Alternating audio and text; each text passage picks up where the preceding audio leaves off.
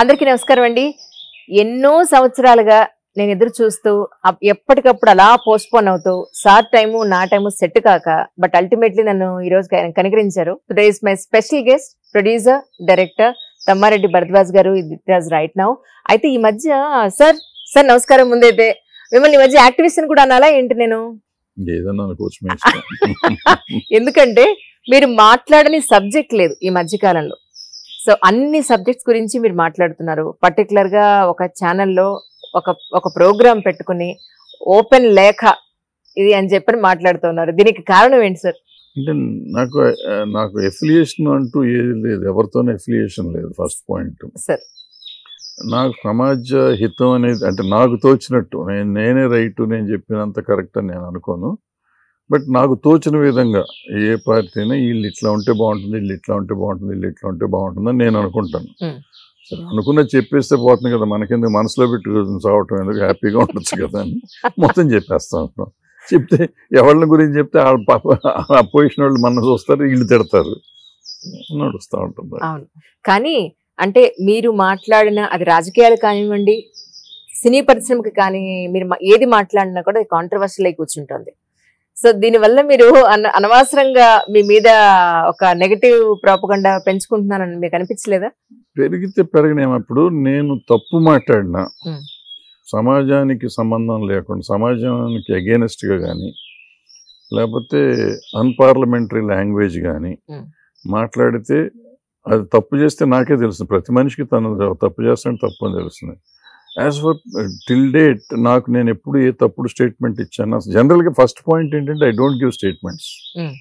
నేనేమనుకుంటా నేనేం చెప్తానో ఎప్పుడైనా మీరు నా మాట్లాడిన దాంట్లో చూడండి. లాస్ట్లో ఇది నేను అనుకుంటాను తప్ప నా నేను మీ మీద రుద్దుతానికి చేయట్లా. మీకు ఇష్టమైతే తీసుకోండి లేకపోతే వదిలేయండి అంటాను. అన్నప్పుడు ఇంకా నాకెందుకు దాన్ని బరువు వదిలించుకోవటం తప్ప నా మనసులో ఉన్న బరువు వదిలించుకోవటం తప్ప నేను కాంట్రవర్సీకి వెళ్దాం అనే ఉద్దేశం కాదు. సో అది అవతల వాళ్ళ కాంట్రవర్సీ అయితే దానికి నేను బాధ్యుడిని కాదు. సార్ ఈ- ప్రశ్న నాది కాదు. ఇన్ జనరల్గా సొసైటీలో మాట్లాడుకుంటున్న నన్ను వాళ్ళ ఎప్పుడు ప్రశ్న. ఇంటర్వ్యూ చేసిన ఫస్ట్ క్వశ్చన్ ఇదే అడుగుతారు. నేను నాకు తెలిసే నేను ఇంతవరకు కాంట్రవర్సీ చేయలే నాకు తెలిసి చెప్తున్నాను. సిన్సియర్గా చెప్తున్నాను నేను. ఇందులో ఒక్క అబద్ధం కూడా లేదు. ఏ రోజు Hmm. కాంట్రవర్సీ చేద్దామని నేను ఏది చేయలే. నాకు అనిపించింది ఇది అనిపించింది అనిపించింది చెప్తాను. అనిపించింది చెప్తే కొంతమందికి నా ఇష్ట ఇష్టం ఉండకపోవచ్చు దాన్ని కాంట్రవర్సీ చేస్తాను. అంటే ఇప్పుడు ప్రజెంట్ మీ గురించి ఇటు మీడియాలో కానీ ఫిల్మ్ ఇండస్ట్రీలో కానీ మాట్లాడుకుంటుంది ఏంటి అంటే వాక్ స్వాతంత్ర్యం ఉంది కదా అని. మీరు మీరు అనుకోవడం వేరు మీరు ఫ్రెండ్స్తో డిస్కస్ చేయడం వేరు బట్ కానీ మీడియా ముందుకు వచ్చి ఒక వీడియో పెట్టడం అనేది ఎంతవరకు సబబు అనేది అడుగుతున్నారు. దీనికి మీ సమాధానం అంటే ఏం చెప్తారు? నాకేం సబబే ఏమవుతుంది నేను సమాజ హితవుని గురించి మాట్లాడుతున్నాను తప్ప నేను సమాజంలో చెడును చెడు సమాజంలో ఉన్న చెడును గురించి సమాజానికి మంచి ఏంటి అనేది నాకు అనిపించిన విధంగా చెప్తా. ఒకవేళ మీరు అనుకున్నది కాంట్రవర్సీ అనుకున్నారు అనుకోండి నేను దాంట్లోనే చెప్తా మీరు బూతులు తిట్టొద్దు డైరెక్ట్గా చెప్పండి నాకు నేను ఐ కరెక్ట్ మై సెల్ఫ్. నేను తప్పు చెప్తే తప్పు నేను చెప్పిన తప్పు అనుకోండి మీరు చెప్పండి జస్ట్ ఒక ఫోన్ కాల్ చేయొచ్చు లేదంటే చెప్పొచ్చు. చెప్తే నేను నిజంగా తప్పు అయితే ఇమీడియట్గా నేను కరెక్షన్ ఇస్తానుగా. అది చేయకపోతే దానికి ఆళ్ళ బాధ తప్పుగా నా తప్పు కాదు కదా. అంటే డెమోక్రసీలో నాకు చెప్పే హక్కు లేదంటానికి ఎవరు మీకు హక్కు లేదు. నా ఇష్టం వచ్చింది నేను చెప్పదు మీ ఇష్టం వచ్చింది మీరు చెప్పట్లేదా? మీరు చెప్పినప్పుడు నేనేది చెప్పకూడదు? మీ ఒక్కళ్ళకే హక్కు ఉంటుంది ఈ దేశంలో. ఈ దేశంలో అందరికీ హక్కు ఉంది. ప్రతి వాళ్ళు మాట్లాడుతున్నారు నేను మాట్లాడుతున్నాను అంతే. నేను మాట్లాడి ఇప్పుడు నేను ఇప్పుడు మీరు మాట్లాడారు అమ్మా ఏదన్నా? అమ్మా తప్పు అంటాను. కాదు సార్ ఈ రైట్ అని మీరు చెప్పారు రైట్ అని నేను నన్ను కన్విన్స్ చేస్తే "ఆ, ఓకే తప్పు అయిపోయింది. నాదే తప్పు నేను ఒప్పుకుంటా. అంతే తప్ప నేను మిమ్మల్ని బూతులు తిడితే మీకు ఎట్లుంటుంది? సమ దాన్ని ఇష్యూ లేకుండా. అది తప్పు కదా. కానీ ఇప్పటివరకు జరిగిన ఇష్యూస్ అన్నింటిలోనూ కూడా ఎవరిష్టం మీరు వేసిన ఒక మాటకి చాలా రకాలైన కౌంటర్స్ వచ్చాయి. అప్పుడు ఎప్పుడు మీరు నిజంగా బాధపడలేదా? అయ్యో అనవసరంగా నేను ఇది పెట్టానేమో? నేను ఎప్పుడూ అనవసరంగా ఇది పెట్టను. కొన్ని కొన్ని కాంట్రవర్సీలు నాకు తెలియకుండా అవుతా ఉంటాయి ఇప్పుడు ఏదో ప్రైవేట్గా మాట్లాడుకునే ఈ మాట్లాడుకునే వాటి మీద కాంట్రవర్సీ చేసుకుంటే ఐ డోంట్ కేర్ అంటే మనం సమాజ పబ్లిక్లోకి వచ్చేసినాకమ్మా పది మంది పది అంటారు. అనకుండా ఉండరు. అంటే తెలుసో తెలియక ఇందాక మీరు అన్నట్టు నేను చెప్పేది ఎదుటి వాళ్ళు హర్ట్ చేస్తూ అవును. అది నేను దాన్ని ఏమంటాను ఇంటెన్షనల్గా హర్ట్ చేద్దామని కాదు. నేను ఏం చెప్తాను ఇప్పుడు మీరు నేను ఏం బిహేవ్ చేసినా మనకి ప్రాబ్లం లేదు. మనం ఎట్లా చేసినా సమాజానికి పెద్ద తేడా రాదు. బట్ ఒక పొజిషన్లో ఉన్న వాళ్ళు చేస్తా ఉంటే సమాజం వాళ్ళని చూసి వాళ్ళని రోల్ మోడల్గా తీసుకుంటే సమాజం ఇబ్బంది పడుతుంది. లేకపోతే రూలింగ్ పార్టీల్లో కానీ అపోజిషన్ పార్టీలో ఉన్న వాళ్ళు కానీ వాళ్ళు చేస్తున్నా కానీ వాళ్ళ ఫాలోవర్లు సినిమా హీరోలు చేస్తుంటే వాళ్ళ ఫాలోవర్లు వీళ్ళందరికీ కొంచెం ఉంటుంది. సో వీళ్ళని మనం ఇది తప్పు రైట్ అని చెప్తున్నా. తప్పు రైట్ అయితే తప్పైతే తప్పు అని చెప్పొచ్చు మనకు కూడా. నేను నేను తప్పు అనుకున్నది నిజంగా రైట్ అయ్యి ఉండొచ్చు వాళ్ళు చెప్పాలి కదా. నువ్వు ట్రోల్ చేసేవానికి ఏమవుతుంది? నేను ట్రోల్ చేసినందువల్ల నాకేం అర్థం కాదు. నాకు ఎక్స్ప్లెయిన్ చేస్తే ఓకే.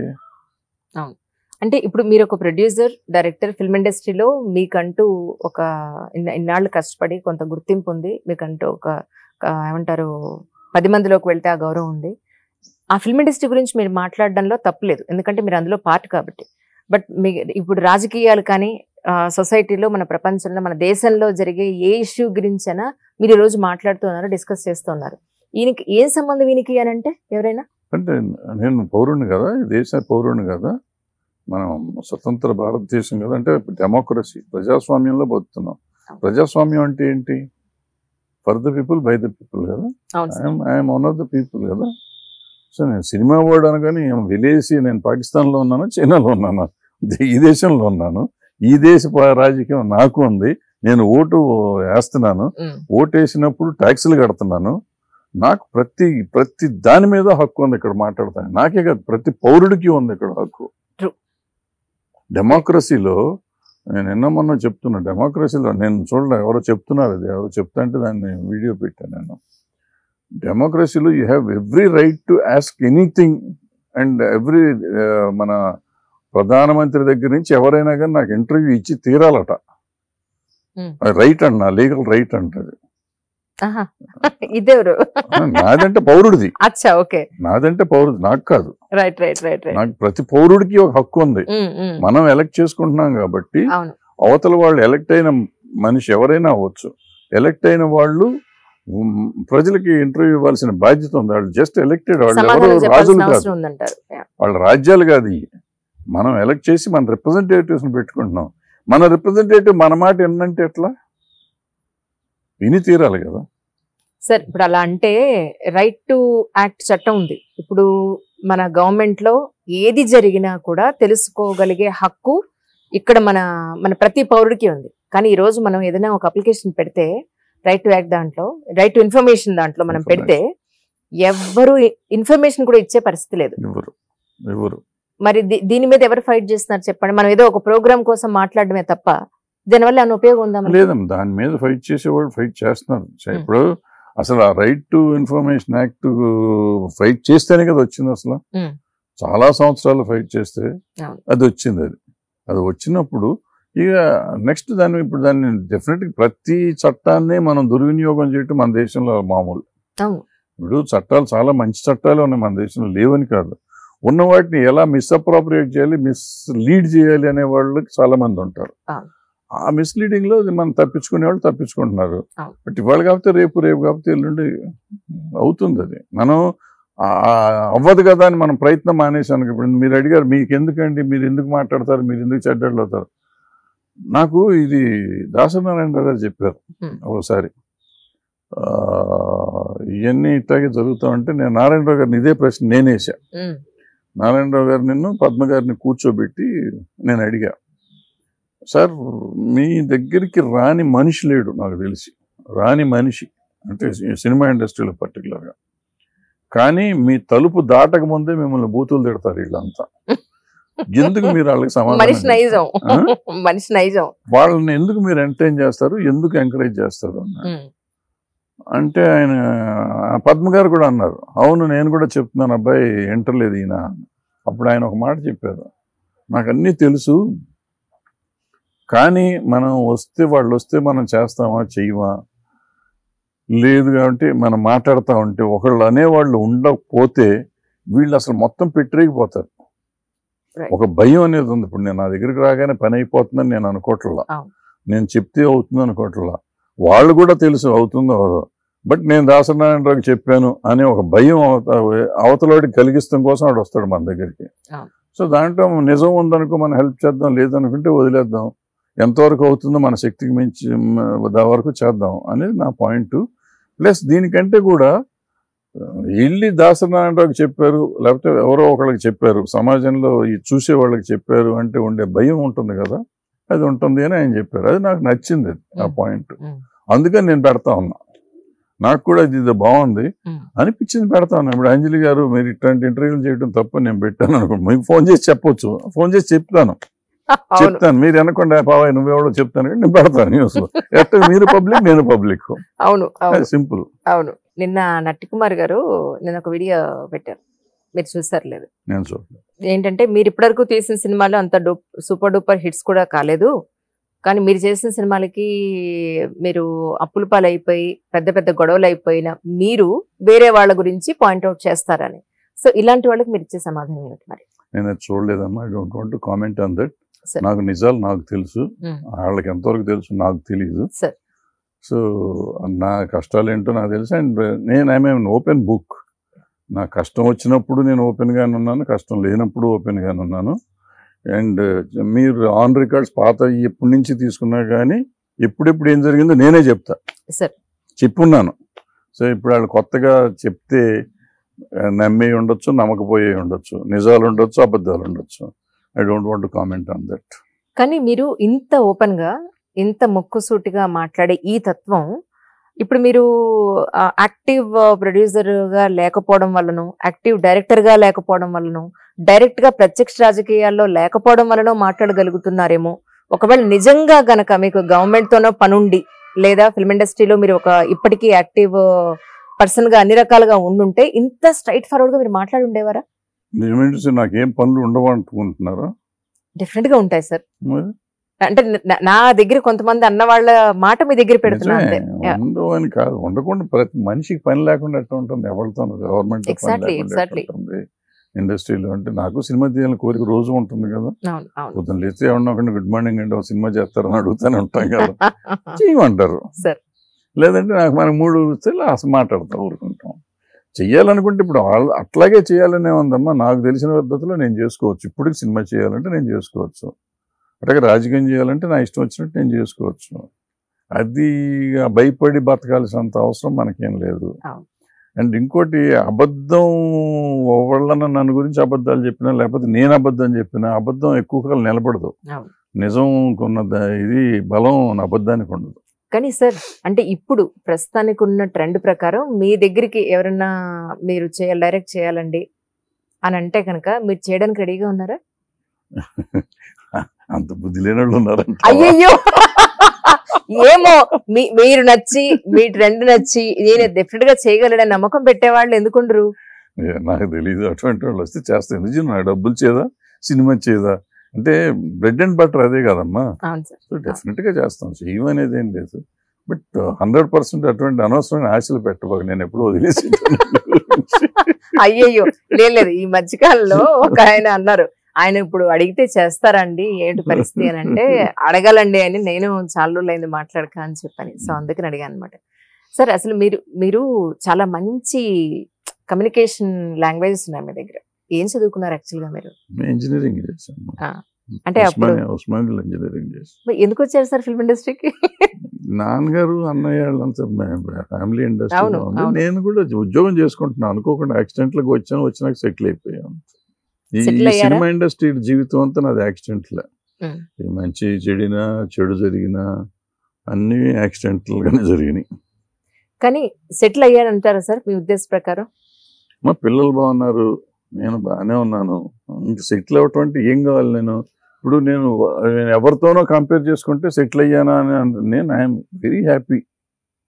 ఇంక ఎందుకు ఏం కావాలి నాకు? దేని గురించి సెటిల్ అవ్వలేదు అనుకోవాలి నేను.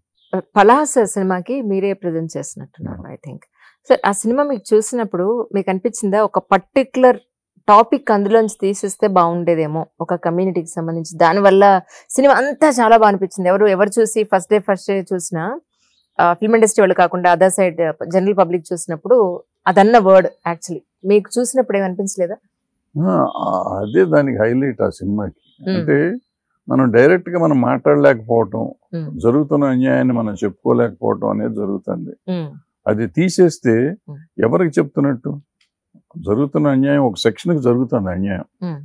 వాళ్ళకి అన్యాయం జరుగుతుందని మనం చెప్పకుండా దాన్ని గుప్తంగా పెట్టి మనం చెప్పడం వల్ల వచ్చే లాభం ఏం లేదు ఇవాళ ఎక్కడ ఏది జరుగుతుందో అన్యాయం జరుగుతుందో దాని గురించి చెప్తున్నాం ఇప్పుడు మనకి తమిళ్ళో ఈ పారంజిత్ వీళ్ళందరూ వచ్చినాక వెట్రిమారన్ వీళ్ళందరూ. వచ్చినాక రెగ్యులర్ సినిమాలు అయిపోయినాయి మనకి తెలుగులో తిరగేస్తే బోర్లేస్తే మనది ఒకటే అవును. పలాస ఒకటే ఉంది దాని గురించి మాట్లాడాం. అవును. ప్లస్ ఇప్పుడు నారప్ప తర్వాత వాళ్ళు చేశారు. అది కూడా అక్కడి నుంచి వచ్చింది. వెట్రిమారన్ చేసింది రీమేక్ సార్ సో మనం చెప్పాలి. ఇప్పుడు నేను నేను- వీడియోల్లో పెట్టిన ఇంటర్వ్యూల్లో చెప్పిన సినిమాలు తీసిన మనం చెప్పతే చెప్పకపోతే ఎవరు చెప్ప తెలిసిన వాళ్ళని చెప్పాలి కదా. చెప్పకపోతే ఎట్లా?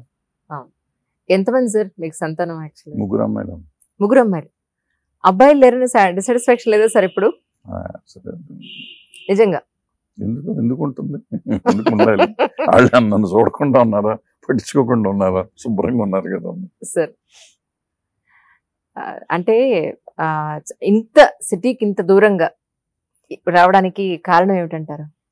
ఈ క- కలుషితమైన స- మనుషుల మధ్య కానీ కలుషితమైన పొల్యూటెడ్ ఏరియాలో కానీ ఉండకుండా కొంచెం దూరంగా ఉంటాం. కాలుష్యానికి దూరంగా ఉందాం అన్ని రకాల కాలుష్యం అన్ని రకాల కాలుష్యానికి. సేమ్ వరప్రసాద్ రెడ్డి గారు ఎలా అన్నారో మీరు కూడా అదే అన్నారు సార్. యాజ్ ఇట్ ఈస్గా ఆల్మోస్ట్ ఫిల్మ్ ఇండస్ట్రీలో మీరు ఒక దగ్గర దగ్గర ఒక నలభై యాభై ఏళ్ళు జర్నీ. చేసింటారు సో ఇండస్ట్రీ గురించి మీరు ఒక మాటలో చెప్పాలంటే ఏం చెప్తారు సార్? మా ఇండస్ట్రీ మంచిదమ్మా ఏ ఇండస్ట్రీ చెడ్డది కాదు. బేసిక్గా మనం ఇండస్ట్రీ ఇండస్ట్రీ అంటాం కానీ ఇండస్ట్రీ కాదు అది. ఓ ఇండివిజువల్స్ ఏ ఇండివిజువల్కి ఆ ఇండివిజువల్స్ నడుస్తూ ఉంటుంది. అంటే మొత్తాన్ని కలిపి మనం ఇండస్ట్రీ అంటాం కానీ. ఎవరిష్టం వాళ్ళదే కదా అక్కడ. దాన్ని కంబైన్డ్గా మనం చేయటానికి అసలు ఏమీ లేదు. సో రకరకాలుగా ఇవి ఉంటాయి మనకి. సో ఇట్స్ చాలా మంచిది అది. మంచి మీడియము ప్రజ ప్రజలకు కావాల్సింది ఆ రోజు స్వతంత్ర రాని రోజుల నుంచి మనకి భారత స్వతంత్రం కోసం పోరాడింది అది. ఎన్నో చట్టాలు మారినాయి. సినిమాల్లో మనం చెప్పిన తర్వాత సినిమాల్లో నుంచి తీసుకుని దేశంలో రాజ్యాంగం మారిన పరిస్థితులు ఉన్నాయి. మనుషులు మారిన పరిస్థితులు ఉన్నాయి. సో మోస్ట్ ఇన్ఫ్లుయెన్షియల్ వెపన్ అది. దాన్ని సరిగ్గా వాడుకున్నప్పుడు అది బాగుంటుంది. సరిగ్గా వాడుకోకపోతే చండాలంగా కూడా ఉంటుంది అది. వాడుకున్న వాళ్ళకి వాడుకుంటూ ఉంటుంది. అది అట్లాగే మనకి పనిచ్చే వాళ్ళకి కూడా అట్లాగేస్తుంది ఉమ్. దాన్ని మనం సరిగ్గా సద్వినియోగం చేసుకుంటే సరిపడా వస్తుంది. మనకి ఎప్పుడు బాగానే ఉంటుంది. సార్ ఇప్పుడు ఒకానొకప్పుడు ఈ యూట్యూబ్స్ లేవు. ఒకానొకప్పుడు సోషల్ మీడియా లేదు. అలా ఈ రెవల్యూషన్లో మనం చూసుకుంటే కనుక ఇప్పుడు రైట్ నౌ ఓటీటీ ప్లాట్ఫామ్స్ అనేవి మనకి ఎంటర్ అయిపోయాయి. సో చాలా మంది అనేది ఏంటంటే థియేటర్కి వెళ్ళి ఈ పాప్కార్న్ నేను కాక మొన్న తేజ గారు ఉన్నారు ఒక వీడియోలో. పాప్కార్న్స్ మనిషిని థియేటర్ రాకుండా చేస్తున్నాయి. ఈ పాప్కార్న్ కాస్ట్ ఇంత పెరిగిపోయింది. సో ఇంత టికెట్ పెట్టి సామాన్యుడు ఎక్కడొస్తాడు థియేటర్కి సో జనరల్ థియేటర్కి వెళ్ళండి. ఈ పెద్ద పెద్ద మల్టీప్లెక్స్ మీరు వెళ్ళకండి అన్న పాయింట్లో సో ఓటీటీ ప్లాట్ఫామ్ ఇవాళ కాకపోతే రేపన్నా ఇందులో వచ్చేస్తుందిలే. లేదంటే అబ్బా ఇప్పుడు కాకపోతే సూపర్ డూపర్ ఇది ట్రిపుల్ ఆరో లేకపోతే బాహుబలి లాంటి పెద్ద పెద్ద సినిమాలకి మనం థియేటర్కి వెళ్ళి చూడాలనే ఫీలింగ్ తప్ప జనరల్ సినిమాలకి థియేటర్కి వెళ్ళే అవకాశం లేదు అని అంటున్నారు చాలా మంది సో దీని మీద మీ అభిప్రాయం సార్? అంటే నేను ఎప్పుడు చెప్తున్నా ఇప్పుడు పది పదేళ్ళ నుంచి నేను మాట్లాడుతున్న మాట కొత్త విషయం కాదు. నుంచి నేను చెప్తున్నా ఈ థియేటర్లో పాప్కార్న్లు కానీ ఫుడ్ ఐటమ్స్ చాలా రేట్లు పెరిగిపోయినాయి. మోసం జరుగుతుంది తగ్గించాలన్నారు. ఆ మధ్యలో ఇక్కడ తెలంగాణ గవర్నమెంట్ ఆంధ్ర గవర్నమెంట్ కూడా రైడ్లు చేశారు. థియేటర్స్ మీద తగ్గించారు ఒక నాడు రెండు రోజులు తగ్గించినట్టు నటించారు. తర్వాత మళ్ళీ మామూలు అయిపోయింది. సో ఇది ఎప్పటి నుంచో నేను చెప్తున్న మాట అది కొత్త విషయం ఏం కాదు కదా. పార్కింగ్ ఫీ మాత్రం తీశారు సార్. మల్టీప్లెక్స్లో పార్కింగ్ మళ్ళీ పెట్టారా? మళ్ళీ పెట్టారు. నేను హాస్పిటల్స్ తీసేయాలి. మల్టీప్లెక్స్లో సింగిల్ స్క్రీన్స్లో సింగిల్ స్క్రీన్లో కాదు మల్టీప్లెక్స్లో అన్ని చోట్ల తీశారు. మళ్ళీ తెలంగాణలో సింగిల్ స్క్రీన్స్లో మళ్ళీ పెట్టారు ప్లస్ రీసెంట్గా నేను ఒక పెద్ద కార్పొరేట్ హాస్పిటల్కి వెళ్తే వెయ్యి రూపాయలు కన్సల్టేషన్ ఫీజు రిజిస్ట్రేషన్ ఫీజు ఎనిమిది వందలు. ఇది కాక మెడిసిన్స్ టెస్ట్లు బయటకు వస్తే పార్కింగ్ ఫీ అన్నాడు. యాభై రూపాయలు తీసుకున్నాడు. గంటకి యాభై రూపాయలు అండి అని అన్నాడు. నేను అదే అన్నా అసలు పార్కింగ్ మీరు ప్రొవైడ్ చేయాలి. దానికి కూడా ఇంత మీరు ఛార్జ్ చేస్తే ఎలాగాని. ఇలాంటి జన్ ఇలాంటి సొసైటీకి సంబంధించిన ఇష్యూస్ మీద మీరు మాట్లాడుతున్నారు కాబట్టి నేను అడుగుతున్నాను సార్. దీని గురించి ఎప్పుడు మీరు మాట్లాడాలనిపించలేదా? మీరు ఎప్పుడు ఫేస్ చేయలేదా? అంటే నేను ఫేస్ చేశాను చాలా ఫేస్ చేసిన ఫేస్ చేసిన మాటలు ఇది మాట్లాడలేదు. సార్. ఇప్పుడు ఏమవుతుందంటే నేను అంటే జనరలైజ్డ్గా చెప్పాను ఇది చెప్పలేదు ఎంత డీటెయిల్డ్గా చెప్పలేదు కానీ sir. Schools colleges hospitals education health అనేది చాలా ఇంపార్టెంట్. ధర్మంగా ఇది దేశంలో ఫ్రీగా ఇవ్వాలి అసలు మనకి మనం కడుతున్న ట్యాక్సులకి.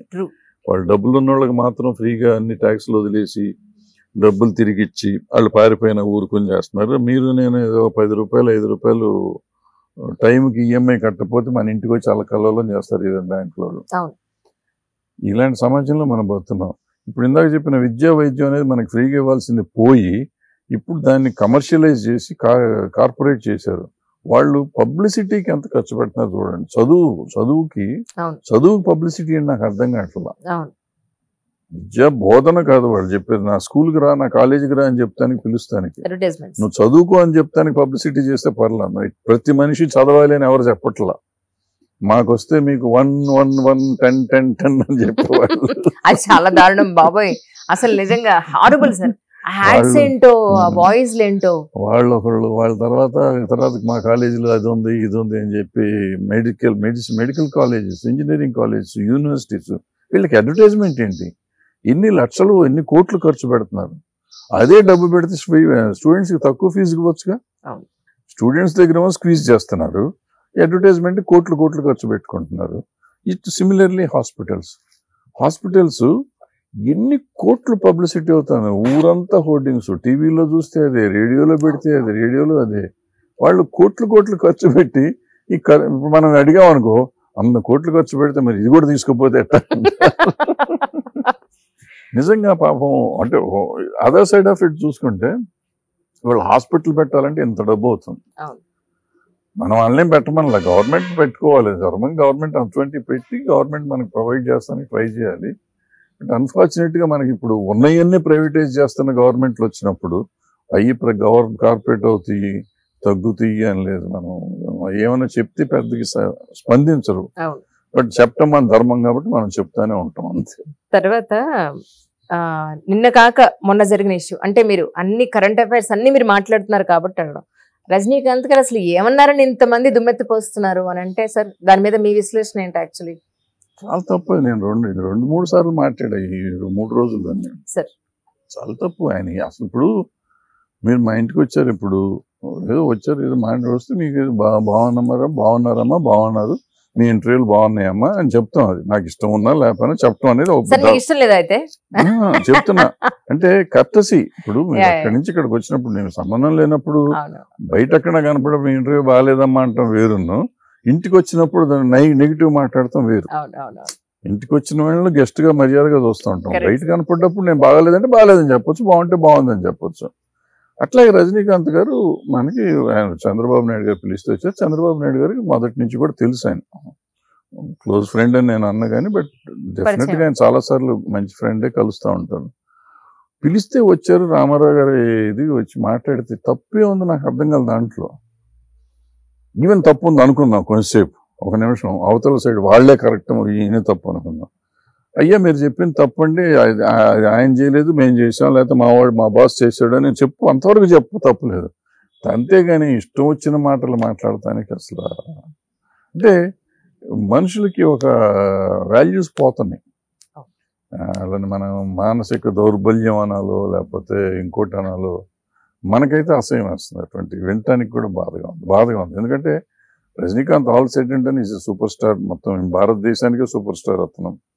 అతను వచ్చాడు ఏదో మాట్లాడాడు వెళ్ళిపోయాడు. మనం పట్టించుకోకుండా ఉంటే గొడవే లేదు అది. ఎందుకు అతను మాట్లాడాలి మనం? అవసరం లేదు. అంతకుముందు ఇప్పుడు సూర్య కూడా వచ్చి ఈయన జగన్ గారు అద్భుతం అని అని అన్నాడు. బట్ వాళ్ళు ఎవరు ట్రోల్ చేయలేదు. కానీ నిజానికి ఎవరైనా ఒక చోటకి ఇన్వైట్ చేసినప్పుడు స్టేజ్ మీదకో పబ్లిక్ మీటింగ్ కో దేనికన్నా అకేషనల్ పిలిచినప్పుడు ఆబ్వియస్లీ బాగుందనే చెప్పాల్సి ఉంటుంది. ఏదున్నా. చెప్తారు అంతే. చెప్తారు కూడా. చెప్తే తప్పు కూడా లేదు.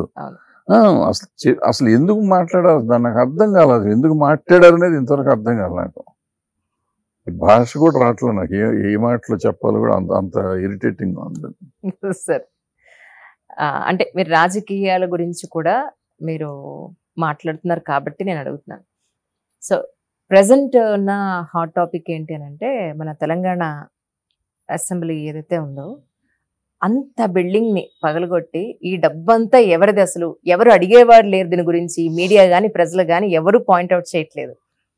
సో దీని మీద మీరేమనుకున్నారు యాక్చువల్గా మీరు ఇప్పుడు కళ్ళు తెరిచారు. ఆయన ఇల్లు కట్టుకున్నప్పుడు ఎందుకు కళ్ళు తెరవాలా మీరు? అవును. ఇప్పుడు ఆయన ముఖ్యమంత్రి. ఆయన్ని మనం ఎన్నుకున్నాము. ముఖ్యమంత్రి అయ్యాడు. గవర్నమెంట్ ఆల్రెడీ ఒక ఇల్లు ఇచ్చింది. మంచి ఇల్లే ఇచ్చింది. అంతకుముందు ముఖ్యమంత్రి గారు కడతమే తప్పు నా ఉద్దేశంలో. రాజశేఖర రెడ్డి గారు కడతమే తప్పు. కట్టి ఇచ్చేసారు ఉంది. అంత అద్భుతంగా ఉన్న ఇల్లే అది. ఈయన ఈ జీవితాంతం ఈయన ఉంటాడు. ఈయన సొంత ప్రాపర్టీ అంటే సొంతం కట్టుకోవచ్చు. ఆల్రెడీ అది ప్రగతి భవనం ఏదో కట్టారు. మంచి బిల్డింగ్ కూలగొట్టారు అవును. సో ఆ రోజే తప్పు ఆయన చేశాడు. మళ్ళీ ఇక్కడికి వచ్చి చేశాడు ఇక్కడ యాక్చువల్గా చంద్రబాబు నాయుడు గారు వెళ్తా వెళ్తా ఆయన ఒక కొంత డబ్బు ఖర్చు పెట్టి కొత్త బిల్డింగ్ కట్టాడు కొత్త కాంప్లెక్స్. అది బ్రహ్మాండం కొత్తది అది ఫ్రెష్. అది ఆయన వాళ్ళు ఆయన మూడు నెలలు ఆరు నెలలు ఉన్నాడు అందులో. ఇటువంటి అన్ని ఉండగా అది కూలగొడతాం అనేది తప్పు. అది చాలా అది ప్రజా ధనం. ధనాన్ని దుర్వినియోగం చేయటం అనేది వీళ్ళకి మామూలు అయిపోయింది ఈ so called elected people any party ఈ పార్టీ ఆ పార్టీ వీళ్ళు వాళ్ళని కాదు ఎలక్ట్ అయిన వాళ్ళు అందరూ మనం ఎలక్ట్ చేసుకోండి. ఇందులో ఫస్ట్ అందరూ కోటేశ్వర్లు. మొన్న మన్ కీ బాత్లో ప్రైమ్ మినిస్టర్ గారు ఒక పెద్ద మాట చెప్పారు. మన కర్నూలుకో కడప రాంభూపాల్ రెడ్డి గారు అనే ఒక ఆయన టీచర్ ఏదో రిటైర్ అయిపోయి ఇరవై ఐదు లక్షలు ఏదో వస్తే ఇరవై ఐదు లక్షలు సౌజన్య ఏదో ఉందంట ప్రైమ్ మినిస్టర్ ఏదో ఉందంట. బ్యాంక్ అకౌంట్లో ఇరవై వంద మంది ఆడపిల్లల అకౌంట్లో బ్యాంకులో వేసి దాన్ని ఏదో చేశారంట. చేసి ఆయన మెచ్చుకుంటున్నారు. నాకు అది విన్నాక నాకు అది ఇంకోటి ఇక్కడ యాదాద్రిలో ఇంకొక టీచర్ గారు ఆయన మొత్తం రెండు లక్షల పుస్తకాలు ఇచ్చి ఆయన రిటైర్మెంట్ డబ్బులన్నీ ఇచ్చి పుస్తకాలు పెట్టి దేశం కోసం. ఇంత తక్కువ తక్కువ చిన్న చిన్న డబ్బులు ఉన్న వాళ్ళు ఎంత ఇంత త్యాగాలు చేస్తా ఉంటే.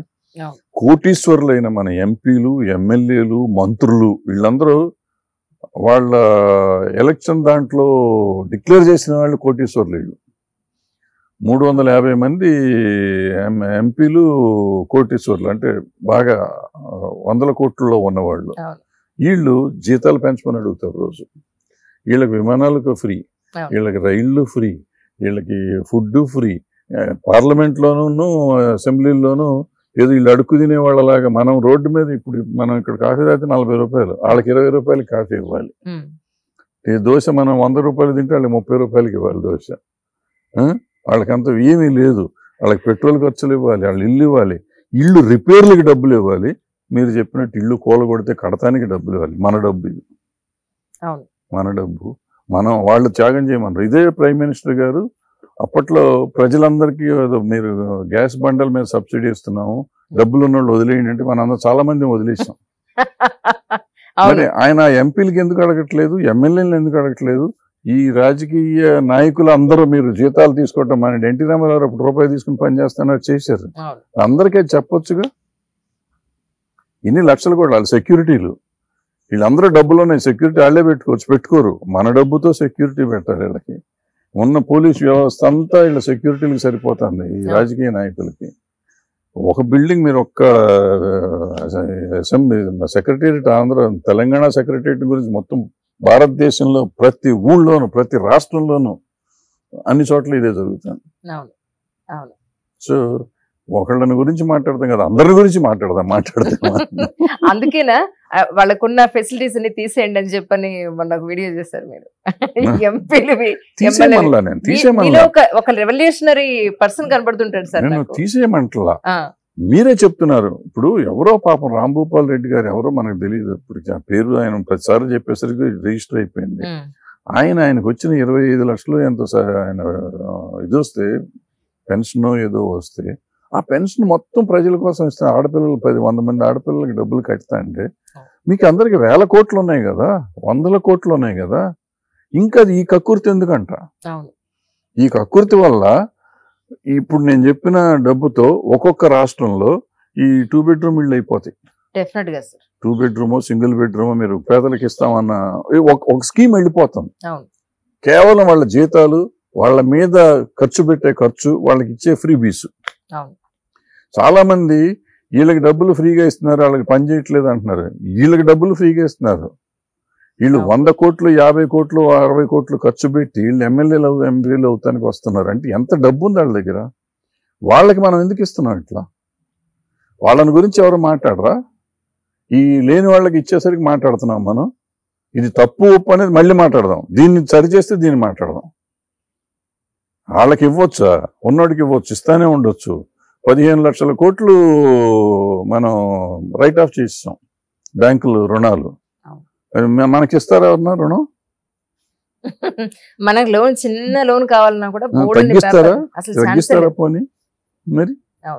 సో ఇవన్నీ చేస్తామంటే ఇప్పుడు జిఎస్టీలు గిఎస్టీలు ఇప్పుడు ఏదో ఇండస్ట్రియల్ డెవలప్మెంట్ అంటారు. వాళ్ళకి మొత్తం జిఎస్టీ మాఫ్ ఐదేళ్ళు అంటారు. వాళ్ళు సంపాదించుకుంటా అంటే ఎందుకు మాఫ్ చేయాలి? నువ్వు వేరే ఫెసిలిటీస్ ఇవ్వు. మనం మంచినీళ్ళు తాగితే జిఎస్టీ కడుతున్నాం. సామాన్యుడు ఉన్నవాడు లేనివాడు కూడా జిఎస్టీ ప్రతి రూపాయి మీద పది ఐదు రూపాయలు పది రూపాయలు జిఎస్టీ కడుతున్నాడు ఇవాళ కరెక్ట్ సమాజంలో. బట్ వాళ్ళకి మీరు రాయితీలు ఇస్తున్నారు. ఉన్నవాళ్ళకి. అంటే దానివల్ల డెవలప్మెంట్ అవుతుంది ఎంప్లాయ్మెంట్ వస్తుంది అన్నీ చెప్తున్నారు. వస్తుంది వస్తే ఈ ఇప్పుడు పూర్వకాలం ఏంటంటే ఉన్నవాడిని దోసి లేనివాడికి పెట్టనేవారు. ఇప్పుడు లేనివాడిని దోసి ఉన్నవాడికి పెట్టంటున్నారు సార్ ఏపీ అంతా కూడా ఇప్పుడున్న కన్ఫ్యూజన్ ఏంటంటే అప్పుడు చంద్రబాబు నాయుడు గారు ఉన్నప్పుడు అమరావతి అమరావతి అని చెప్పని చాలా హైప్కి వెళ్ళిపోయింది అంతాను. ఇప్పుడు తీరా జగన్ గారు వచ్చిన తర్వాత ఈ మూడు రాజధానులు అనేది ముందుకు వచ్చింది ఇప్పుడు అసలు ఎక్కడ ఉండే పరిస్థితి ఉంది? ఇంతవరకు ఎక్కడా పరిస్థితి లేదు. అనేది అంటున్నారు. బట్ మీ వరకు మీ విశ్లేషణ ఏంటి ఇందులో? నా విశ్లేషణ ఏం లేదు. నాకు తెలిసి మూడు రాజధానులు రాజధానులను సమర్థిస్తారా మీరు? ఏమ్మా? మూడు రాజధానులు మూడు కాదు సమర్థిస్తారు? ముప్పై పెట్టుకోమని ఆ రోజే చెప్పాను నేను. నువ్వు మూడు కాదు ముప్పై పెట్టుకో నువ్వు. నాకు యాజ్ ఏ ఈ భారత పౌరుడిగా కానీ ఈ రాష్ట్ర పౌరు ఆ రాష్ట్రం నేను పౌరుడిని కాదు కాబట్టి నాకు దా కాదు. ఇన్ జనరల్ కామన్ మ్యాన్గా నేను చెప్తున్నాను. అబ్జెక్షన్ లేదు. అయితే ఒక ఎనిమిది వేల కోట్ల రూపాయలు అక్కడ ఖర్చు పెట్టి అసెంబ్లీ పార్లమెంటు కోర్టు అన్నీ కట్టి ఉన్నాక ఒక ఒక ఇన్ఫ్రాస్ట్రక్చర్ తయారైపోయి ఉన్నాక దాన్ని అక్కడి నుంచి మార్చాల్సిన అవసరం ఉంది. మూడు రాజధానులు కోర్టు అంటున్నారు అక్కడికి వెళ్తా ఉన్నారు సరే కోర్టుకి తీసుకెళ్ళండి. ఇక్కడ ఇండస్ట్రియల్ క్యాపిటల్ పెట్టుకోండి వైజాగ్లో. ఇండస్ట్రియల్ కారిడార్ రాసు వస్తుంది అక్కడ. కోస్టల్ కారిడార్ వస్తుంది. దాన్ని ఇండస్ట్రియల్ క్యాపిటల్ అనుకుని ఇండస్ట్రియల్ చేసుకోండి ఎకనామికల్ ఇప్పుడు అహ్మదాబాద్ మహారాష్ట్రకి ఎకనామిక్ క్యాపిటల్ అది. అట్లా మీరు ఏదో పెట్టుకోండి ఏదో పేరు క్యాపిటల్ అని పేరు పెట్టాలని పెట్టుకోండి. ఉన్నదాన్ని ఎందుకు చెడగొడతారు? అది కాకుండా అక్కడ రైతులకు ఇచ్చిన ప్రభుత్వం చంద్రబాబు నాయుడు గారు ఇచ్చారా మీరు ఇచ్చారా నేను ఇచ్చానా కాదు. అక్కడ ప్రభుత్వం ఇచ్చింది హామీలు. ఆ ప్రభుత్వం ఇచ్చిన హామీలు నెరవేర్చాల్సిన బాధ్యత తర్వాత వచ్చిన ప్రభుత్వాన్ని హండ్రెడ్ పర్సెంట్. దాన్ని ఏం చేస్తున్నారు? నాకు రాజధాని పెట్టారా పెట్టలేదు నాకు అనవసరం అమ్మా. నేను ఏదో రాజధాని పెడతారనో లేకపోతే అమరావతిని డెవలప్ చేస్తారనో నా ల్యాండ్ నేను మీకు ఇచ్చాను. మీరు ప్రభుత్వం నాకు ఆ ప్రభుత్వం వాళ్ళు నాకు హామీ ఇచ్చారు. ఇంత ఎంత ఇస్తాము ఇట్లా చేస్తామని. ఇది చేయండి. ప్రభుత్వం చేసిన ఆబ్లిగేషన్ నిర్వర్తించ నిర్వ- కంప్లీట్ చేయాల్సిన బాధ్యత తర్వాత వచ్చిన ప్రభుత్వానికి ఉంది. అది ఎవరనేది నాకు అనవసరం. ఇచ్చారా సార్? ప్రభుత్వానికి ల్యాండ్ ఇచ్చారా? నాకు ఉంటే గతిస్తాను ఏ అంటే ఏపీ కదా. రాష్ట్ర పౌరుణ్ణి కాదు అసలు సార్, సార్. మీరు ఎస్పెషలీ రాజకీయాల్లో రాజకీయాల గురించి చాలా రీసెర్చ్ చేసి చేస్తున్నారు పెడుతున్నారు వీడియోస్. నేను రీసెర్చ్ చేయడం ఇది బ్రెయిన్ తక్కువ మాట నాకు నాకు అసలు ఏ బ్రెయిన్ లేదు నేను ఏం చేయను అప్పుడప్పుడు యూట్యూబ్ చూడటం లేదా అప్పుడప్పుడు పేపర్ చూడటం తప్ప. నిజంగా చెప్తున్నా నేను రీసెర్చ్ చేయను. మీరు వస్తా అన్నారు నేను ఊరికే వచ్చేసి జస్ట్ స్నానం చేసి వచ్చాను మీరు ఏం అడుగుతారో నాకు తెలియదు ఏం చెప్తానో నాకు తెలియదు. అండ్ యూ డోంట్ బిలీవ్ మీరు వెళ్ళిపోయినాక మీరు ఏం అడిగారో నాకు గుర్తుండదు నేను ఏం చెప్పాను నాకు గుర్తుండదు. మళ్ళీ ఎవరు అడిగినప్పుడు అప్పుడు అన్నాను అట్లా అని అంటాను తప్పు అన తప్పు అనను అనే ఒక ధైర్యం ఉంది కాబట్టి నేను ఇద్దరు మాట్లాడేస్తుంటాను. అంటే కమింగ్ ఎలక్షన్స్కి అక్కడ ఏపీలో గానీ ఇక్కడ తెలంగాణలో గానీ ఎలా పరిస్థితులు ఎలా ఉండే అవకాశం ఉందంటారు మీ ఉద్దేశ ప్రకారం? ఏదో వస్తాను ఎవరో ఒకళ్ళు ఎలక్ట్ అవ్వాలి అవుతారు. ఎవరు వచ్చినా మనకి లేదంటారా? నేను ఇప్పుడు కాదు ఇప్పుడు నేను పుట్టినప్పటి నుంచి ఇప్పుడు చూస్తాను ఎన్నో ప్రభుత్వాలు మారినాయి. కామన్ మ్యాన్ జీవితం మారిందని నేనైతే నమ్మను. ప్రాబ్లీ ఆ రోజుల్లో సైకిల్ కూడా లేని వాళ్ళు ఇవాళ మోటార్ సైకిల్ మీద తిరుగుతున్నారేమో సైకిల్ ఉన్న వాళ్ళు ఇవాళ కారులో తిరుగుతున్నారేమో. అది మారిన సమాజం మారిన మార్పు సమాజంలో వచ్చిన మార్పు తప్ప వీళ్ళందరూ మనకి చేసింది కాదు. ప్రభుత్వం చేసింది ఏం లేదు అందులో ఏ ప్రభుత్వం ఏమి చేయాల. అంటే డెఫినెట్గా బ్రిటిష్ ప్రభుత్వం నుంచి వచ్చిన తర్వాత ఎంతో కొంత డెవలప్మెంట్ ఉండబట్టి ఇవాళ కొంచెం ఇన్ఫ్రాస్ట్రక్చర్ తయారైంది దేశంలో. ఆ డ్యాములు కానీ అవి కానీ వాటర్ కానీ అగ్రికల్చర్ కానీ ఇండస్ట్రీస్ కానీ అన్ని మెల్లిమెల్లి కొంత డెవలప్ అయినాయి. అవ్వలేదని నేను సో బట్ అది ఏంటంటే న్యాచురల్ ఫినామినా అది. న్యాచురల్ ఫినామినా కొంత డెఫినెట్గా విజన్ ఆఫ్ దోస్ లీడర్స్ ఉంది. So but in general common man life పెద్దగా చేంజ్ అవ్వాలి. నాకు తెలిసినంత నేను నాకు తెలిసినంత వరకు at least middle class.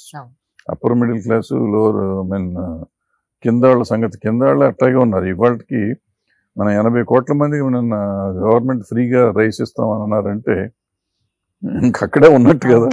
నూట ముప్పై నూట నలభై కోట్లలో. సో ఏం ఎక్కడికి వెళ్తున్నాం మనం? ఏం చేస్తున్నాం? ఏదో ఫ్రీగా ఇచ్చేసామని చెప్పి ఓట్లు వేయించుకోవటం తప్పిస్తే అసలు ఫ్రీగా ఇవ్వాల్సిన పరిస్థితి ఎందుకు వస్తుంది? ఎవడి కష్టం వాడు ఎందుకు పడలేకపోతున్నాడు? కష్టపడ్డ వాడికి నువ్వు ఎందుకు పని ఇవ్వలేకపోతున్నావు? ఏం చేస్తే అవుతుంది? ఇది అని దేశాన్ని గురించి ఆలోచి విజన్ ఎవరికన్నా ఉందా? మాట్లాడితే విజన్ అంటే నేను ఏదో ఇండస్ట్రీ పెట్టేస్తాను. ఇండస్ట్రీ పెట్టేసినట్లపు ఓ పది మందికి ఉద్యోగాలు వస్తాయి. అయిపోయిందా? ఏంటిది? అసలు భవిష్యత్తు ఎలా ఉండాలి? భవిష్యత్ తరాలకి ఎట్లా ఉండాలి?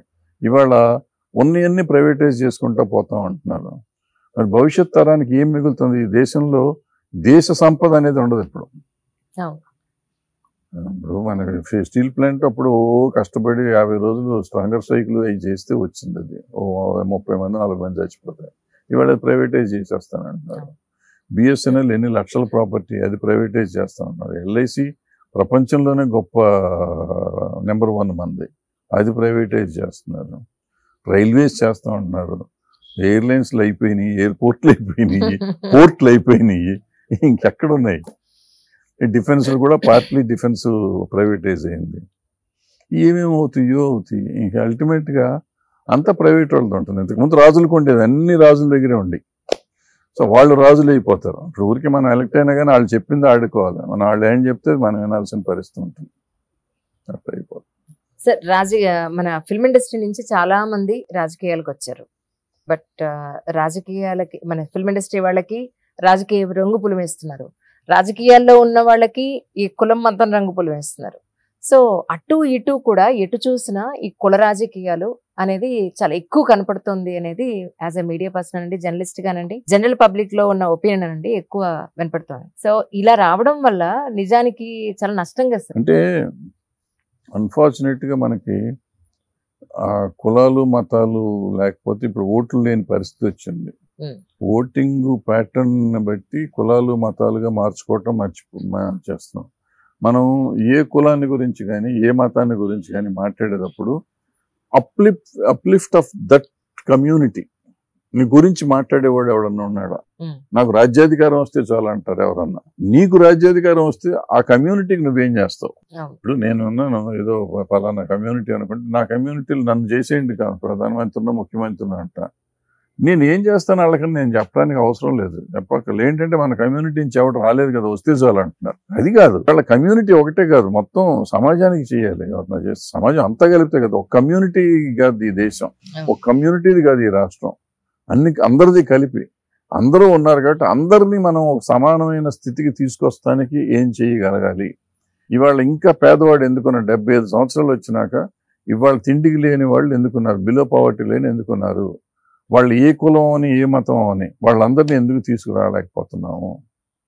వాళ్ళు ఓల్డ్ సిటీ ఉంది ఓల్డ్ సిటీ మాట్లాడితే మొత్తం ముస్లిం కమ్యూనిటీ అంతా చేస్తారు. ఎందుకు వాళ్ళకి డెవలప్ అవ్వట్లేదు వాళ్ళు? దాని గురించి వాళ్ళు అడగట్లా గుడ్డిగా ఓటేసేస్తున్నారు వాళ్ళు. వాళ్ళకే వాళ్ళు ఓటేసుకుంటున్నారు అనుకుంటున్నారు కానీ ఎందుకు డెవలప్ అవ్వట్లేదు? పక్కన ఈ సిటీకి వస్తే హైదరాబాద్ యువతలకు వస్తే ఎంత డెవలప్ అయింది? ఓల్డ్ సిటీ ఎట్లా ఉంది? ఎందుకు ఇంకా మనం ఇట్లా మ- మగ్గిపోతున్నాం అని వాళ్ళు ఆలోచిస్తున్నారా? అట్లాగే మన దగ్గర కూడా మన దగ్గరికి వస్తే ఇప్పటికి మాలపల్లిలో ఉన్నాయి విలేజెస్కి వెళ్తే.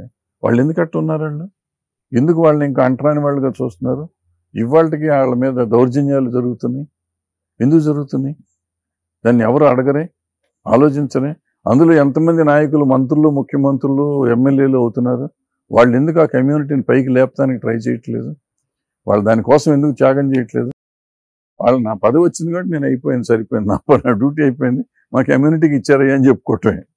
వీళ్ళు నాయకులు వెంటనే వాళ్ళకి ఇచ్చాం వీళ్ళకి ఇచ్చాం. మన ఎంత బాధాకరమైన విషయం అంటే మన దేశంలో ఇవాళ ఒక పర్టికులర్ కమ్యూనిటీ వాళ్ళని తీసుకెళ్ళి మనం పెద్ద- పెద్ద పదవి ఇచ్చేస్తే దాని గురించి డబ్బా చెప్తారు. అనవసరంగా నా లెక్కలో బాడీ షేమింగ్ అది. ఇప్పుడు నన్ను ఒక మనిషిని తీసుకెళ్ళి ఒక పెద్ద అత్యున్నత పదవి మనం ఇచ్చినప్పుడు వాళ్ళు ఏ కమ్యూనిటీ అని చెప్పకర్లా వాళ్ళలో ఉన్న గొప్పతనం అని చెప్పి ఆ గొప్పతనం కోసం ఇచ్చామా? కమ్యూనిటీ కోసం ఇచ్చామా? ఇప్పుడు కమ్యూనిటీ కోసమే చేస్తున్నారు కదా సార్. కమ్యూనిటీలో కోసం- కమ్యూనిటీ కోసం అంటే దేశాన్ని మోసం చేస్తున్నట్టు నా ఉద్దేశంలో. నేనేమంటాను? కమ్యూనిటీ అయితే అయి ఉండొచ్చు. కమ్యూనిటీ అయినా ఆ- వ్యక్తి గొప్పతనం ఉండి ఉంటుంది కదా. ఆ కమ్యూనిటీలో కోట్ల మంది ఉంటారు. కమ్యూనిటీలో ఉన్న వాళ్ళందరిలో తీసుకొచ్చి ఇవ్వచ్చుగా లాటరీ వేసి ఒకరిని తీసి ఇవ్వచ్చుగా. ఇవ్వలేదే. పలానా వాళ్ళకి ఇచ్చారు. ఆ పలానా వాళ్ళు గొప్పవాళ్ళు కాబట్టి వాళ్ళ గొప్పతనం చెప్పు నువ్వు. తర్వాత తెలుసుకోవాల్సి వస్తే యూట్యూబ్లోనూ తింటాను ఉంటుందండి గూగుల్లో కొడితే వాళ్ళ క్యాస్ట్ గిస్ట్ అన్ని వస్తాయి. వాళ్ళు తెలుసుకుంటే తెలుసుకుంటారు వాళ్ళ కర్మ నువ్వెందుకు చెప్తున్నావు నువ్వు ఇంకొక అత్యున్నత స్థానంలో ఉండి. ఇంకో అత్యున్నత స్థాన స్థాన- స్థానంలోకి వచ్చిన వ్యక్తిని గురించి వాళ్ళ పలానా కులం వాళ్ళు పలానా కులం వాళ్ళు మనం ప్రతికి గుచ్చి గుచ్చి చెప్తామంటే. అది ఎట్లా ఉంటుంది? అసహ్యం కదా ఇది బాధ కదా? ఈ కమ్యూనిటీ ఈ సొసైటీలో మనం బతుకుతున్నాం. సిగ్గుపడాలి మనం. కానీ అంత పెద్ద అంబేద్కర్ విగ్రహాన్ని ఎలక్షన్ మూమెంట్ ఈ మూమెంట్లో పెట్టడం అనేది దానికి ఎన్ని వేలు లక్షలు కోట్లు ఖర్చయ్యో మనకు తెలియదు కానీ బట్ ఈ అదే డబ్బు గనక మనకున్న ఎడ్యుకేషన్ సిస్టమ్కి మన రోడ్లకి మన వర్షం వస్తే మొత్తం రోడ్లన్నీ నిండిపోతాయి సార్. ఈ డ్రైనేజ్ సిస్టమ్కి పెట్టుంటే ఇంకా చాలా బాగా డెవలప్ అయిండదేమో హైదరాబాద్. బట్ దాని గురించి ఎవరు మాట్లాడాల. ఇప్పుడు ఎలక్షన్ మూమెంట్లో అంబేద్కర్ విగ్రహం అంటే మొత్తం ఆ ఎస్సీ ఎస్టీ ఆ మైనారిటీస్ అందరికీ కూడా ఏదో పెద్ద గొప్ప వరం ఇచ్చేసాను అన్నట్టుగా జనాలు రిసీవ్ చేసుకుంటున్నారంటారా మీ ఉద్దేశ ప్రకారం? రిసీవ్ ఏం చేసుకోరు. ఉండే ఉంటాను వాళ్ళు ఉంటాను ఉంటారు కానీ రిసీవ్ ఏం చేసుకోరు. దానికి పొగిడే వాళ్ళు పొగుడుతూ ఉంటారు. ఇది పెట్టారు ఎవరు పెట్టలేదు ఈయన పెట్టారు అనే వాళ్ళు ఉంటారు. ఉండకుండా ఉంటారు కదా. ఉపయోగం ఏంటి సార్? ఉపయోగం లేదు. అంటే సర్దార్ పటేల్ విగ్రహం పెట్టలేదా? హైయెస్ట్ విగ్రహం అని పెట్టుకోలేదా? అది ఎలక్షన్తో సంబంధం లేకుండా పెట్టారు అప్పుడు అక్కడ ఎలక్షన్ అప్పుడు అక్కడ ఎలక్షన్ రైట్ రైట్ అంటే ఆయనకంటూ ఒక పార్టీ ఆపాదించి ఆయన ఆయన కోసం ఓట్లేసే వాళ్ళు ఉంటారంటారా? ఏం ఉంటే ఉండొచ్చు. ఎప్పటికప్పుడు ఎవరికప్పుడు ఎవళ్ళ అవసరానికి వాళ్ళు వాడుకుంటున్నారు దీన్ని. రాజకీయాన్ని అలా సొంతంగా వాడుకుంటున్నారు. నిస్వార్థం అనేది ఎవరికి లేదు. నిస్వార్థంగా ఉన్నాను అని చెప్పుకుంటాం అనేది చెప్పుకుంటానే నిస్వార్థంగా లేరని అర్థం.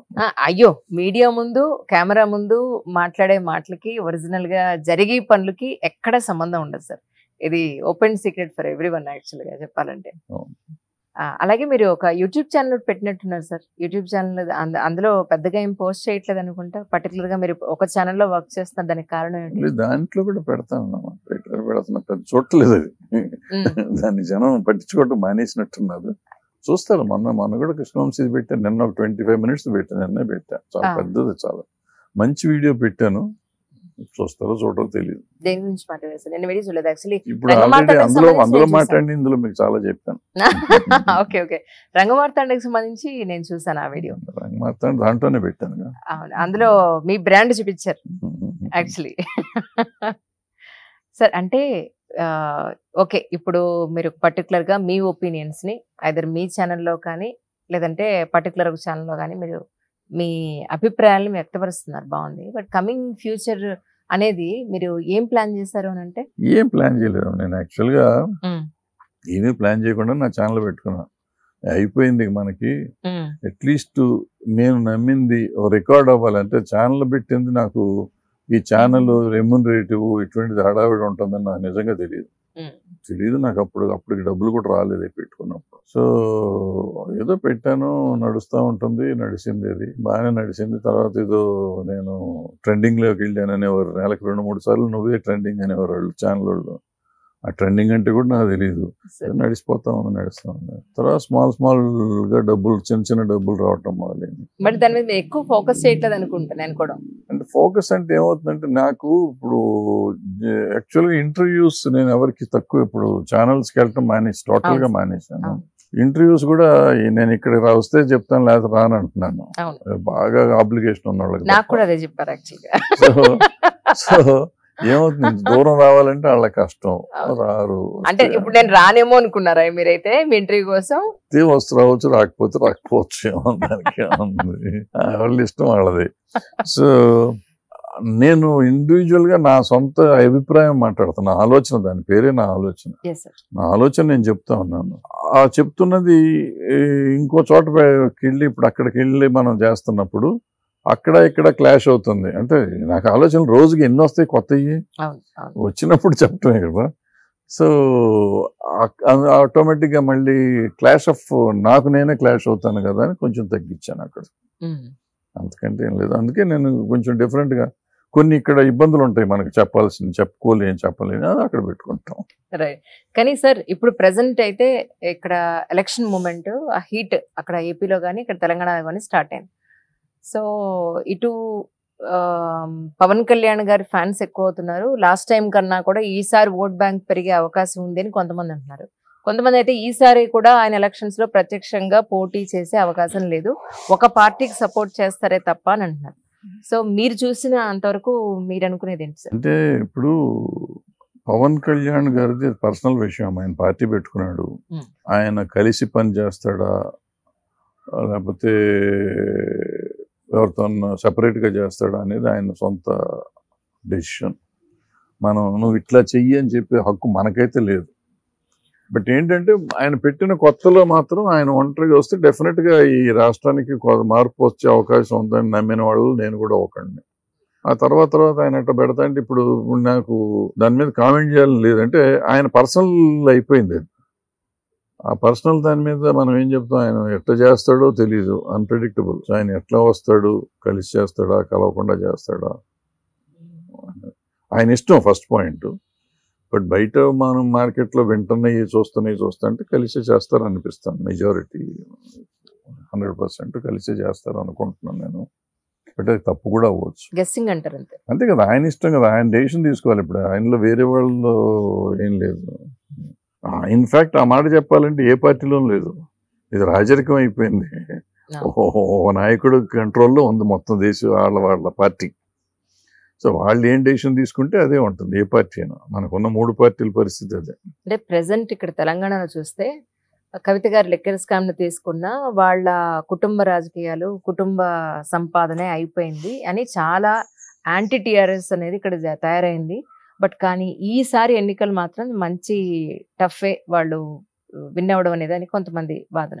సో దీని మీద మీ డెఫినెట్ అభిప్రాయం? గా టఫ్ గానే ఉంటుంది అప్పుడు ఎప్పుడు లాస్ట్ టైం వచ్చినప్పుడు కూడా టఫ్ గానే వచ్చారు. కాంగ్రెస్ నుంచి వెళ్ళిపోయి జనం చేరిపోయారు తప్ప వాళ్ళకి యాక్చువల్గా టఫ్ గానే ఉంది కాంగ్రెస్ కొట్టుకు చచ్చి వాళ్ళంతా వాళ్ళలో వాళ్ళకి పడక కానీ పడి ఉంటే అసలు అప్పుడే టీఆర్ఎస్ రావటం కూడా టఫ్ కష్టంగానే వచ్చేది.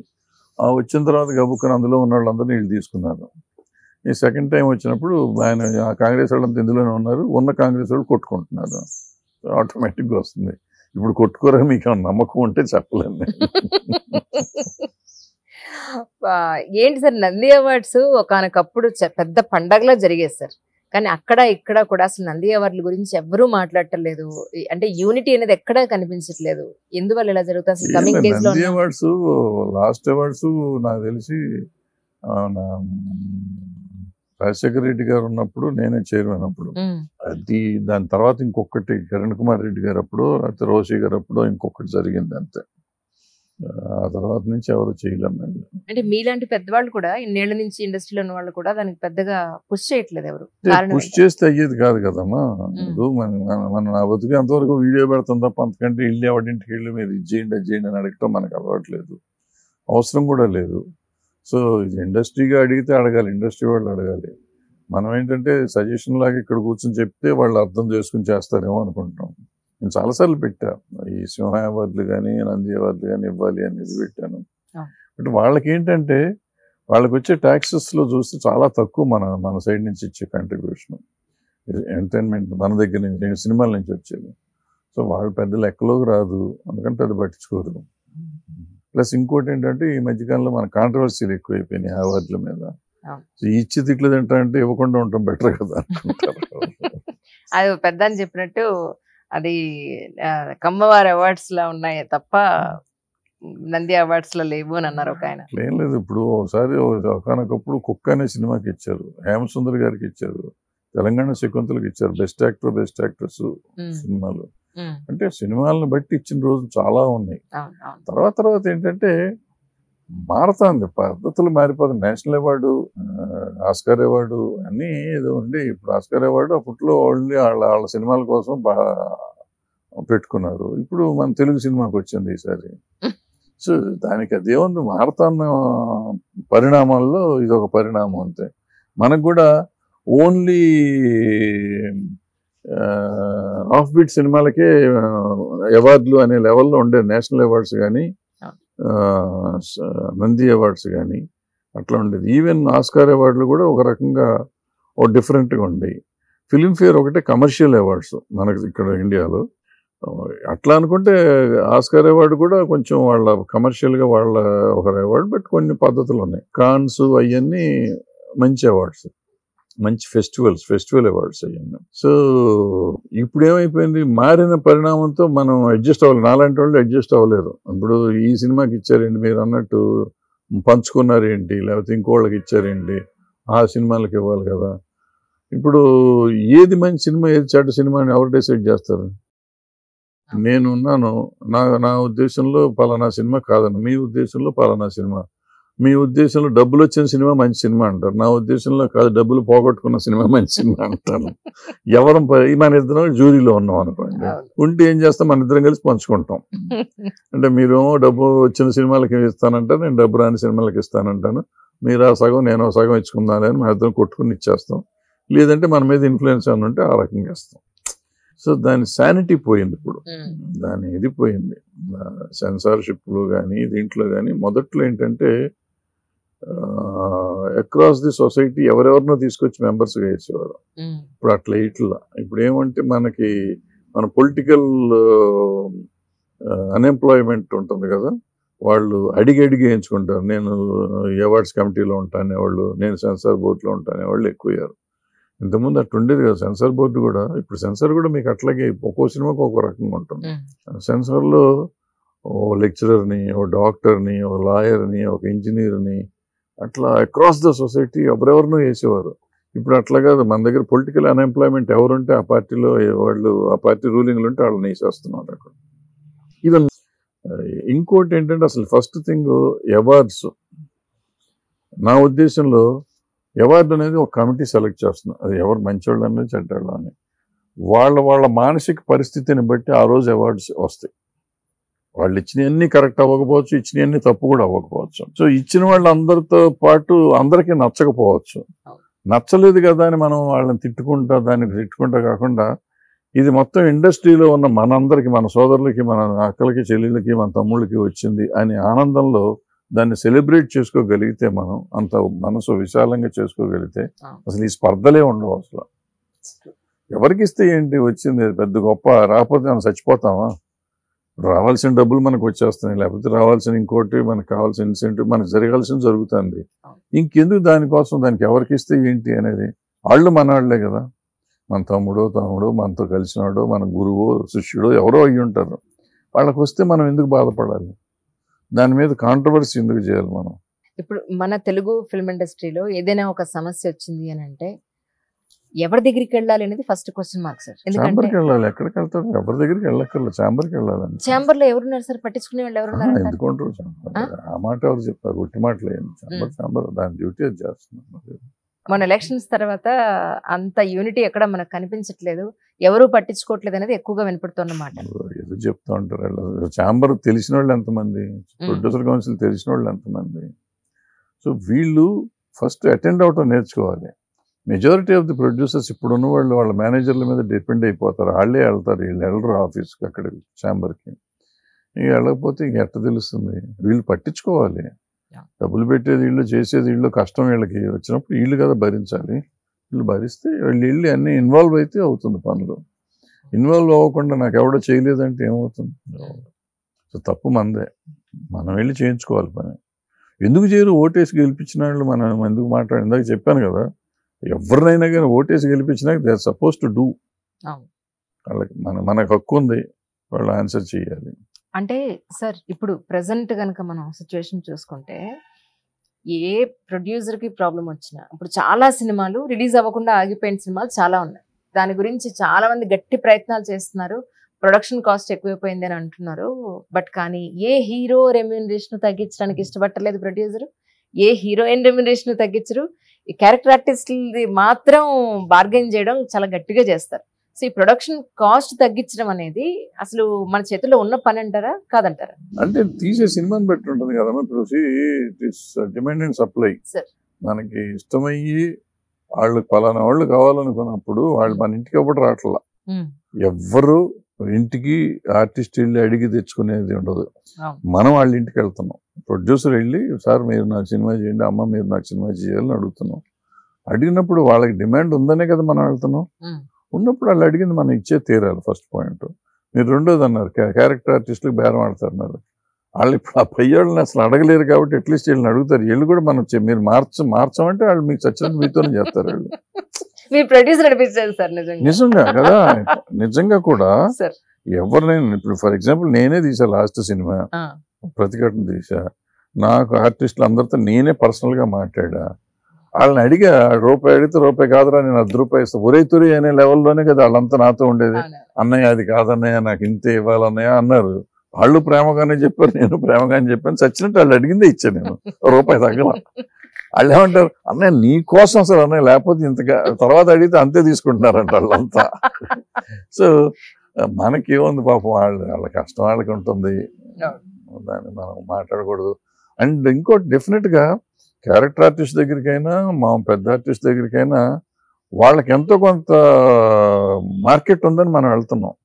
వెళ్ళినప్పుడు ఇంకా బేరం ఆడతాం ఎందుకు? అడుగుతాం తప్పు లేదు. అడుగుతాం. అడుగుతాం కూరగాయలకి గుడుకుని వెళ్తాం. వాడు తగ్గించకపోతే తీసుకుంటలేదు. ఇష్టం అయితే. సిమిలర్ కానీ ఈ సందర్భంగా కమింగ్ ఎలక్షన్స్ దృష్టిలో పెట్టుకున్నాం.